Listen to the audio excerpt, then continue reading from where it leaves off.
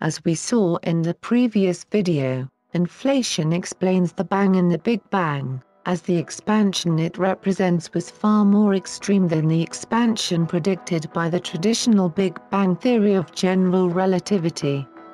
However, for our theoretical models of inflation to make sense, the initial state of the universe had to be set up in a special and highly improbable way.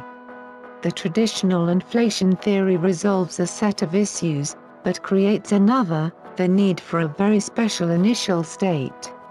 The Einstein's theory of general relativity should be replaced with a more accurate theory, if we are to explain the origin of universe.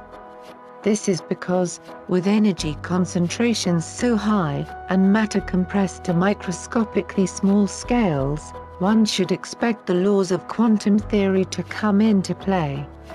For practical calculations involving the everyday world, we continue to use classical theories. But back when the universe was as small as the Planck size, 1 billion trillion trillionth of a centimeter, is the scale at which we should take quantum theory into account.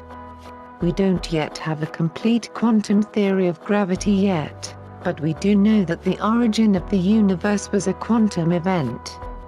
So if we want to go back even further and understand the origin of the universe, we must combine what we know about general relativity with quantum theory. First, we need to understand the concept that gravity warps space and time. Imagine the universe as a trampoline with edges held high in the air by long poles. When we drop a heavy rock, it stretches the trampoline's center downward a great distance. Now imagine yourself as a small ant living on the surface of this trampoline. Though you can't step out of the sheet and observe the warpage, what you can do is march around it and measure the circumference. You then discover that the circumference is shorter than the diameter itself.